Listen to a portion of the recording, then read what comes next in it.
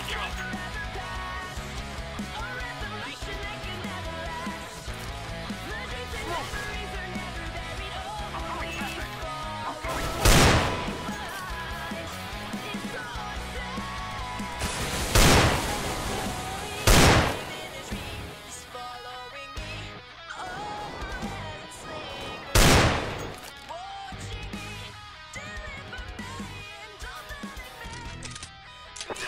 Wish they were never born.